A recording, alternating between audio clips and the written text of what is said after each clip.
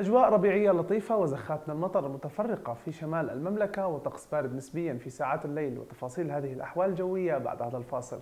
النشرة الجوية. تأتيكم بالاشتراك مع سي اف اي المناصير للزيوت والمحروقات. شركة بسطامي وصاحب وكلاء نيسان وإنفينيتي في الأردن. الباطون الرغوي للعزل الحراري من اريوم لافارج باطون الأردن. تمويلكم مختبرات ميد لابز. 57 فرعا في المملكة لخدمتكم. المهنية للاستثمارات العقارية والسعودي وشركاه للتطوير العقاري. أعزائنا متابعين طقس العرب أسعد الله مساءكم. من المتوقع أن ترتفع بشكل طفيف درجات الحرارة يوم الغد ولكن تبقى أقل من معدلاتها نسبة لمثل هذا الوقت من العام ما يقارب 3 إلى 5 درجات مئوية. ونشاهد التفاصيل هنا مع خرائط درجات الحرارة تبقى الأجواء ربيعية لطيفة في معظم مناطق المملكة من يوم الغد إن شاء الله. هنالك فرص لزخات من الأمطار تكون محدودة على المناطق الشمالية من المملكة خلال ساعات النهار من يوم الغد. على أن تتراجع هذه الفرص مع ساعات الليل من يوم الغد لتميل درجات الحرارة للبرودة في ساعات الليل. في هذه الليلة وفي العاصمة عمان درجات الحرارة تصل إلى 11 درجة مئوية والأجواء صافية وسرعة الرياح تصل إلى 12 كيلومتر في الساعة. وفي ثلاثة أيام القادمة في العاصمة عمان ارتفاعات تدريجية على درجات الحرارة من يوم الغد 19 إلى 11 درجة مئوية ارتفاع مع يوم الثلاثاء لتصل إلى 22 درجة في ساعات النهار ودرجات الحرارة الصغرى إلى 13 درجة مئوية.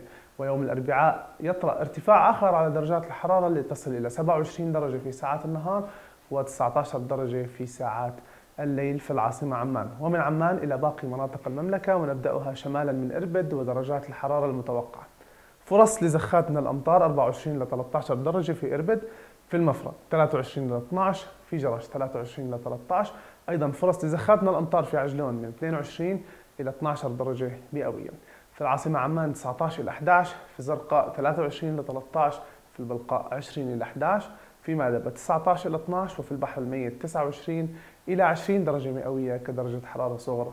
في الكرك 21 21 عفوا إلى 11 وفي الطفيلة 20 إلى 11 وفي معان 22 إلى 13 في جبال الشراء 17 إلى 10 في العقبة 30 إلى 20 درجة مئوية. وأخيرا في المناطق الشرقية رويشة 27 إلى 15 صفاوي 26 إلى 15 وأخيرا في الأزرق 26 إلى 14 درجة مئوية كانت هذه أبرز المعلومات الواردة لدينا هنا في مركز طقس العرب. إلى أن نلتقي في نشرات قادمة. دمتم في أمان الله. النشرة الجوية. تأتيكم بالاشتراك مع آي. المناصير للزيوت والمحروقات. شركة بسطامي وصاحب وكلاء نيسان وإنفينيتي في الأردن.